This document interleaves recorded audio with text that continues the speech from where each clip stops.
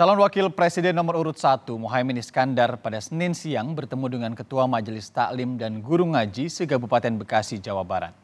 Muhaimin menjanjikan perbaikan sistem bagi pendidikan informal.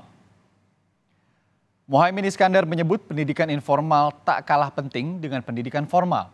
Menurutnya, Majelis Taklim merupakan lembaga yang penting dalam membentuk karakter seorang anak. Pendidikan agama merupakan pendidikan jangka panjang sehingga butuh perbaikan sistem layaknya pendidikan formal.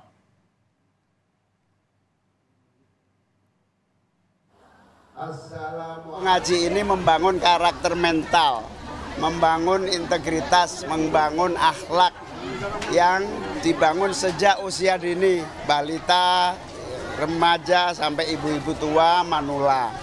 Itu semua long life education, pengajaran yang terus-menerus wajib negara berterima kasih karena mereka pendidikan informal seperti majelis taklim ini justru yang membangun karakter. Oleh karena itu harus menjadi bagian dari anggaran pendidikan nasional.